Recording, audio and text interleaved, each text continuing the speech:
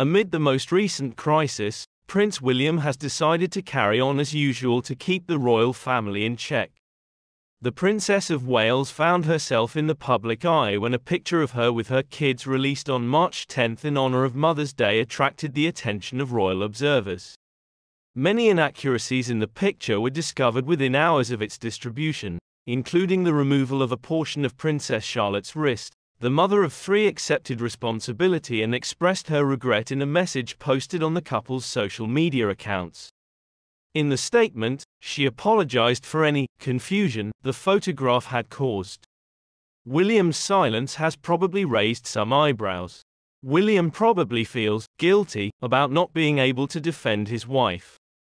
He doesn't have much to apologize for, having spent the bulk of this year absent from work tending to his small family.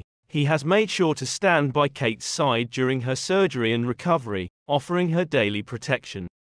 The heir should not feel bad about how the photo row turned out since nobody could have shielded their spouse from the attack that occurred. Kate was the one who first acknowledged the error, so even though William will naturally want to shield his wife, he should let her take the initiative and apologize on her behalf. Fans were able to see how much the kids had grown since our last glimpse of them thanks to this adorable Mother's Day snapshot, which is assumed to have been taken by William. However, it appeared that William had no control over the image, and he was not responsible for the subsequent events. It's time to move past the photo row and concentrate on the upcoming images of the future king and queen along with their children, the Princess of Wales and her three children, Prince George, Princess Charlotte, and Prince Louis, may make an appearance at the Easter Sunday service later this month.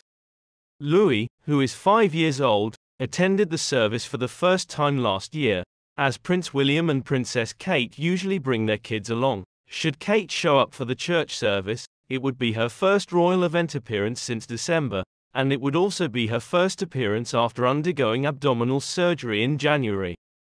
The future Queen hasn't ruled out attending the event and will make a final decision in the coming weeks. A sighting of the Queen last week has stoked speculation about Kate's possible presence on March 31st.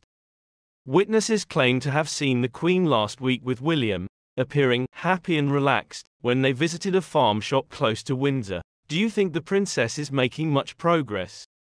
Let us know what you think in the comments below.